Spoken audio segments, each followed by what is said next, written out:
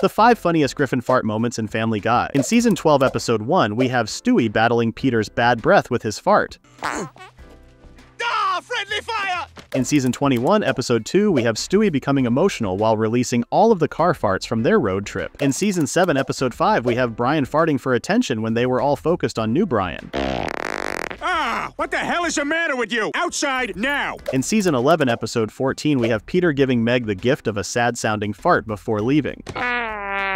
In Season 6, Episode 8, we see Peter using Brian as a mustache that occasionally has gas. Mustache fart.